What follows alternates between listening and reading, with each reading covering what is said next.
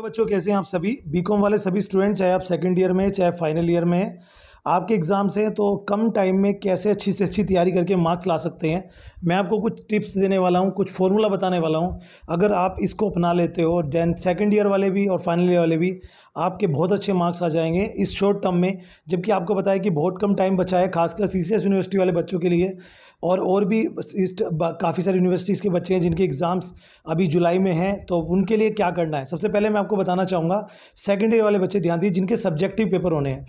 जिनके subjective exams होने हैं, उसमें क्या होता है ऑप्शन इस बार आपको खूब मिलने वाला है। लास्ट ईयर वाला पैटर्न नहीं रहेगा। इस बार आपको आधे क्वेश्चन आएँगे, बहुत जगह पर पूरे भी आ सकते हैं, लेकिन ऑप्शन आपको खूब मिलेगा। हो सकता है दो में से एक, दो में से एक, या दो में से एक करने का ऑप्शन मिले, जैसे कि हमें एम में मिला करता था। एम में ऐसे ही होता है, दस क्वेश्चन में से पाँच करने होते हैं, दो में से दो में से एक करके।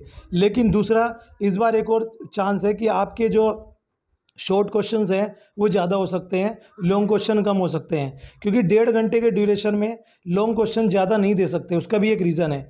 तो मैं आप सबको कहूँगा, सबसे पहला टिप तो आप सबको यह है कि शॉर्ट क्वेश्चन पर ज़्यादा पकड़ करें अपनी जी हाँ। नंबर दो, आप जो तैयारी कर रहे हो, वो पर्टिकुलर किसी बुक से कर रहे हो तो अब नहीं हो पाएगी। क्योंकि बुक से मतलब है, पूरे साल पढ़ते तो बात होती। आप एक काम करिए, दो क्वेश्चन बैंक कम से कम लेके चलो। जैसे सी वाले बच्चे हैं, उनको मैं कहूँगा, काका का, यानी कि आपका चित्रा का एक आता है, वो ले सकते हैं। एक आयुषी का आता है, वो ले सकते हैं। दो कंपनियों के क्वेश्चन बैंक कह लो रिफ्रेशर कह लो, उसे आप लें, उनसे आप तैयारी करें। अब बच्चा कहेगा, सर, मैं तो एक ही पढ़ लेता हूँ। अगर आप किसी एक क्वेश्चन बैंक से पढ़ रहे हो तो कभी भी अच्छे मार्क्स नहीं आएँगे। क्योंकि क्वेश्चन बैंक में पहले चालीस परसेंट डाटा होता है किसी बुक का। और उसके बाद आप क्या पढ़ोगे, क्या वहाँ लिखोगे, आपके मार्क्स बहुत कम आएँगे। तो पहली बात ये, कम से कम दो क्वेश्चन बैंक ले।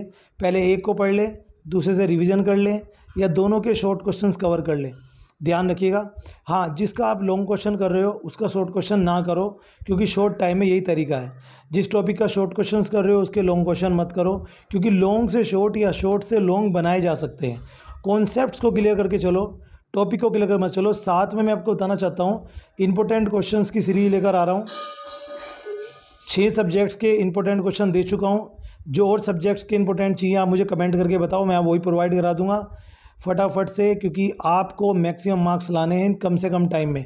तभी आपकी बी की मार्किंग हो पाएगी। लास्ट ईयर भी आप प्रमोट हो गए थे, जिस कारण से इस बार प्रॉब्लम ना हो आपको।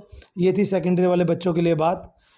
अब बात करते हैं यहाँ पर कि सेकेंडरी वाले बच्चों को क्या सारी पढ़ना है या कुछ चैप्टर पढ़े।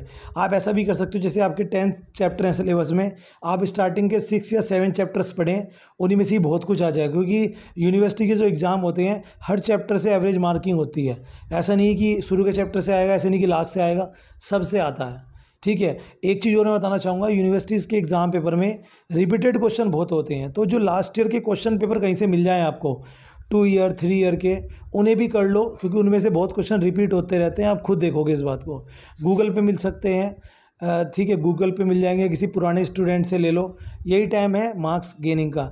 यह सेकेंड ईयर के लिए टिप्स फाइनल ईयर की बात करते हैं, जिनके ऑब्जेक्टिव क्वेश्चन आने हैं। जिनके ऑब्जेक्टिव आएँगे, डेढ़ घंटे में, पहले आते थे सौ क्वेश्चन तीन घंटे में, अब हो सकता है पचास क्वेश्चन आए डेढ़ घंटे में। अब वो फिफ्टी क्वेश्चन आपको कैसे क्रैक करने हैं? ऑब्जेक्टिव तो उसके लिए दो तरीके हैं। एक तो ये है कि भैया कुछ नहीं आता, जय माता दी कर दो, लेकिन ऑप्शनल सब्जेक्ट में फ़ेल होने के चांस उतने ही ज़्यादा हैं। तो बिल्कुल भी केयरलेसनेस नहीं रखनी। अगर आप मार्क्स लाना चाहते हो तो तरीका मैं आपको बताता हूँ। कॉन्सेप्ट क्लियर करके चलो। क्वेश्चन को रटो मत। बुक ले लो आप और हर एक बुक की रीडिंग करते चलो। जितने भी सब्जेक्टिव जितने भी आपके थियोटिकल सब्जेक्ट्स हैं, उन सब की बुक ले लो। मार्केट से पुरानी और उन्हें रीडिंग करो, क्योंकि बीच में से क्वेश्चन बनाए जाते हैं। जैसे सन हो गया या कोई राइटर का नेम हो गया या कोई एक्ट हो गया या कोई कोई भी चीज़ है एक्ट एक्ट वगैरह हो गया, ये सभी ज़्यादातर आते हैं। टाइप्स हो गए मेरिट डिमेरिट्स हो गया एडवांटेज हो गए। इन्हें पढ़िए, दिमाग में बिठाइए, रटिए मत, क्योंकि क्वेश्चन ऑप्शनल कहाँ से आ जाए, कुछ नहीं पता। कॉन्सेप्ट्स को दिमाग में बिठा के चलो। और जहाँ तक न्यूमेरिकल की बात है, ऐसे न्यूमेरिकल जिनका शॉर्ट आंसर आता है, वो ज़्यादा आते हैं। कभी कभी तो बड़े बड़े न्यूमेरिकल आ जाए शेयर का क्वेश्चन आ गया। उसमें केवल ये निकालना है कि फॉरफिटेड अमाउंट कितनी आएगी, या कैपिटल रिज़र्व की अमाउंट कितनी आएगी, ऐसे क्वेश्चन आ जाते हैं।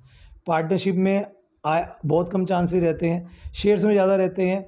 और फिनेंशियल मैनेजमेंट आपके पास है या स्टेटिक्स आपके पास, जो भी है आपके पास, उसमें न्यूमेरिकल पे कम ध्यान दो थ्योरिकल पे ज़्यादा दो, क्योंकि टाइम कम है। न्यूमेरिकल पे एक काम कर लो, जो क्वेश्चन बैंक में न्यूमेरिकल है, वही कर लो। क्वेश्चन बैंक के न्यूमेरिकली रिपीट होते रहते हैं। उससे क्वेश्चन बैंक के न्यूमेरिकल से आपका काम हो जाएगा। तो इतने मेरी तरफ़ से टिप्स और वीडियो के लिए चैनल को सब्सक्राइब करके बेल आइकन प्रेस करना। रेगुलर आपको टिप देता रहता हूँ, कोई भी क्वेरी हो, आपको रेगुलर आप पूछ सकते हैं। Thank you very much